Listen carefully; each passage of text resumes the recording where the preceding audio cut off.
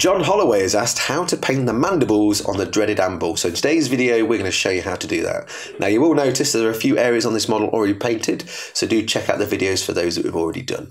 Now I'm going to start by base coating the mandibles with Zandri Dust. We're then going to shade all over using Seraphim Sepia. Then about halfway down the mandibles, we're going to shade with Reikland Flesh Shade. Then we're going to be using Agrax Shade just around the tips of the mandibles where there's like little teeth details.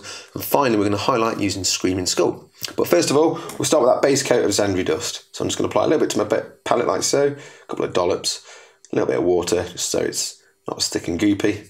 That's nice and better. Obviously with adding a little bit of water it just makes it flow a lot easier and you can get a nice pointy brush as well. So all we're going to do now is just start base coating those mandibles. Just take your time and you might want to do a couple of thin layers depending on how well we've thinned this paint down. With that base coat now done, using a medium shade brush, we're going to apply Seraphim Sepia all over the mandibles. If it does start to drip just or pool at the very bottom, just use your brush to soak some of that up as well. With that first shade dry, we're now going to move on to Reikland Flesh Shade and we're looking at doing about halfway down the actual miniature's mandibles. So probably around about here or so. And where the teeth are as well, just pull a little bit there as well, just so it actually builds that up. Just give it a nice bit of depth and add a nice little bit of tone to the actual mandibles as well. Once that shade's dry, we're now going to use Agrax shade. We're just going to concentrate this around the tips of the mandibles, especially around little areas like the teeth here as well. Just a little couple of dabs. And it's always worth doing a second coat just to add a little bit of extra depth and darkness to that colour.